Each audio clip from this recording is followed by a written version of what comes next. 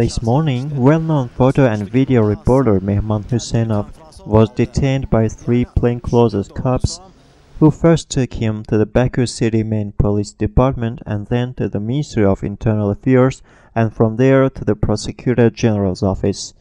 According to Huseynov, he was interrogated in connection with a video that he had made by mixing an audio taken from Azerbaijani presidential debates with a video trailer of the well-known movie 300 Spartans. Mehman Huseynov's lawyer Elchin Sadigov was not allowed to attend the six-hour interrogation despite of holding appropriate power of attorney.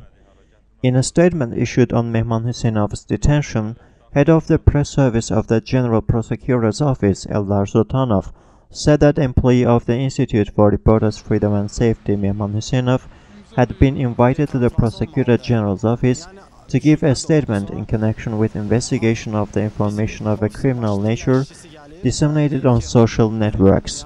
After the questioning, Mehman Huseynov was warned not to spread such videos in the pre-election period anymore.